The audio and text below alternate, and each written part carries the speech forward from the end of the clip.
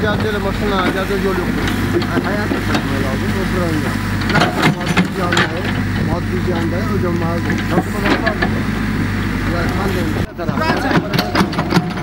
Ben diyorum 2 metrede ya hündürde değil su içinde. Ha 2 metre. Seni.